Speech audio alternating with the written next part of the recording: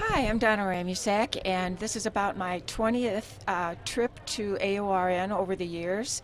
I've been an AORN member for 51 years, and I thoroughly enjoy coming to these uh, conferences because it's such a learning experience and seeing all the equipment. It's just a big, giant wish list, and uh, I just love it.